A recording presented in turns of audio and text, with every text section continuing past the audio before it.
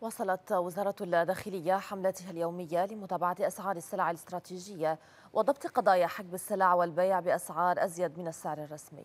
تمكنت الوزارة خلال 24 ساعة من ضبط 433 قضية تموينية بمضبوطات بلغت أكثر من 116 طن مواد غذائية وغير غذائية. هذا وضبطت الحملات الأمنية أيضا 25.5 طن دقيق أبيض في مجال حجب السلع الاستراتيجية و37.5 طن دقيق مدعوم وسكر تمويني في مجال الاستيلاء على السلع المدعومة. أما في مجال عدم الإعلان عن الأسعار بقصد البيع بأزيد من السعر الرسمي للسلع الغذائية وغير الغذائية تم ضبط ما يقرب من 39 طنا.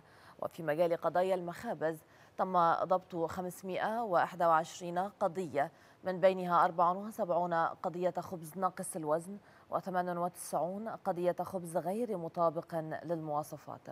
أما في مجال ضبط مخالفات التلاعب بمنظومة توريد وتداول القمح المحلي فتم ضبط ثمان قضايا بمضبوطات بلغت ما يقرب من 119 طن أقماح محلية.